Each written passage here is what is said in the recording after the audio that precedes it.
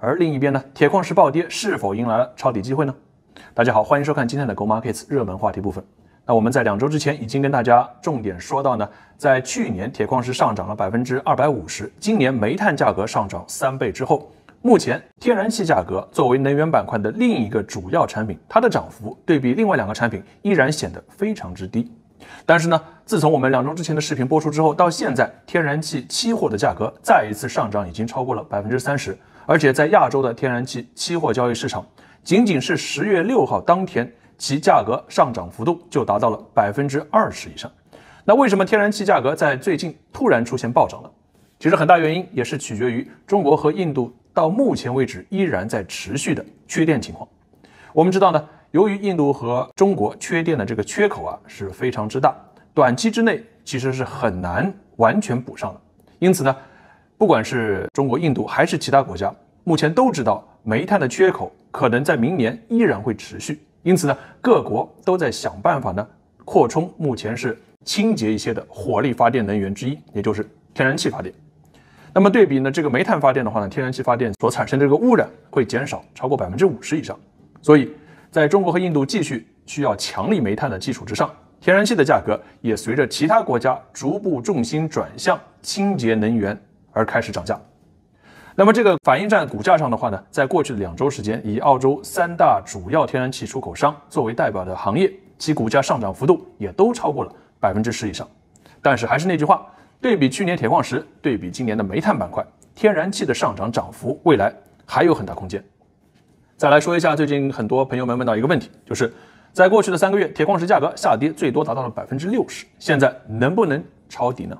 我们都知道呢，这个问题呢，相对于来说没有一个标准答案。有的人喜欢吃辣，也就是愿意承担相对较高的风险；有的人呢喜欢喝汤，喜欢呢较为稳定、较为保守的回报。那么对于铁矿石在暴跌了百分之六十之后，未来能不能进场，或者说现在能不能抄底，它是因人而异。但是呢，我的风格大家都比较了解，喜欢简单直接。总的来说，铁矿石板块三家公司必和必拓、力拓和 FMG 目前依然保持着每个月的正现金流。换句话说，就是他们每个月都在赚钱，而不是在烧钱。这对于一家公司的可持续发展和长期的运行来说至关重要。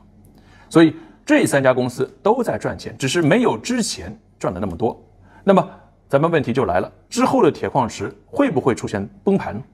我个人觉得不太会。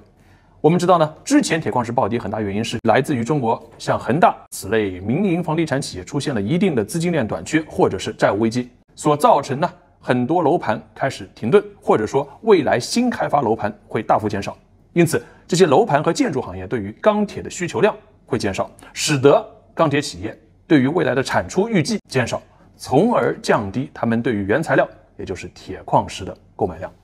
所以这一连串因果关系导致了铁矿石期货价格从五月到九月这段时间是出现了大跌。但是呢，随着现在恒大的事件。虽然没有出现巨大的崩盘，但是呢，从目前情况来看，对于恒大很有可能将会采取重组或者是部分重组的方案。因此，未来它对于整一个房地产市场不会出现系统性的巨大的崩盘风险。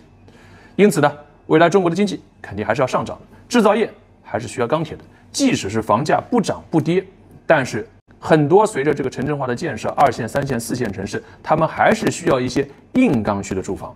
而且这一部分的缺口，很大程度上也会从未来国家重点是在制造业和我们说的这个能够产生大量就业的那些行业来补充回来。